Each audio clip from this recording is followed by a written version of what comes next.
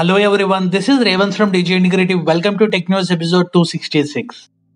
Lok Sabha Speaker Om Birla on Tuesday announced the launch of the mobile application, which will enable the users to watch the live telecast of the House proceeding and view various parliamentary documents including written question and answers and reports of various committees.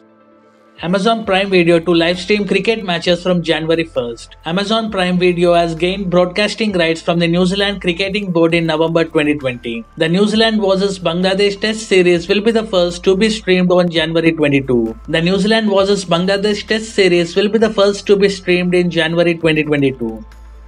Elon Musk, the world's richest person, has tweeted that he will be paying around 11 billion US dollars in tax for this year. At present, his wealth is around 243 billion US dollars, while Tesla is worth around 1 trillion US dollars and SpaceX is worth around 100 billion US dollars. According to the new leaks of the Samsung Galaxy S21 Fan Edition, a few render images has mentioned that it is going to launch on January 11.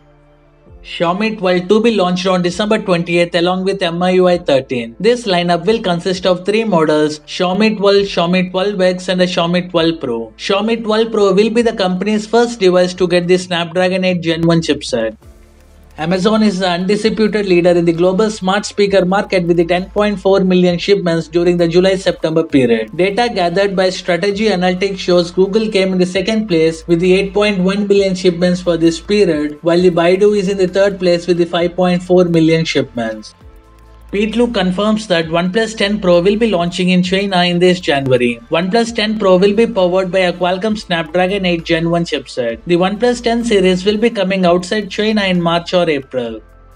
The OnePlus Buds Z2 price in India is said to be Rs 4999 The true wireless earbuds were originally unveiled back in October and launched globally on US and UK last week. The key specifications include 11mm dynamic driver, ANC mode, Bluetooth 5.2 and a 94 millisecond latency.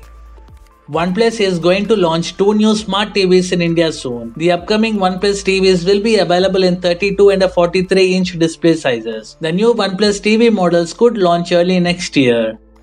The iPhone 13 trial production starts in India. The trial is happening at Foxconn Chennai plant. Apple won't be manufacturing iPhone 13 Pro and iPhone 13 Pro Max.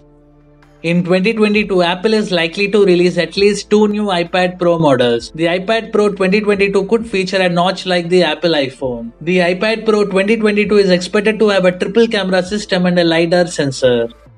The iQOO 9 series is expected to come with a Snapdragon 8 Gen 1 chipset. iQOO 9 Pro is tipped to come with a 6.78 inch curved edge AMOLED display with a 2K resolution. iQOO 9 on the other hand may have a flat Full HD Plus AMOLED display.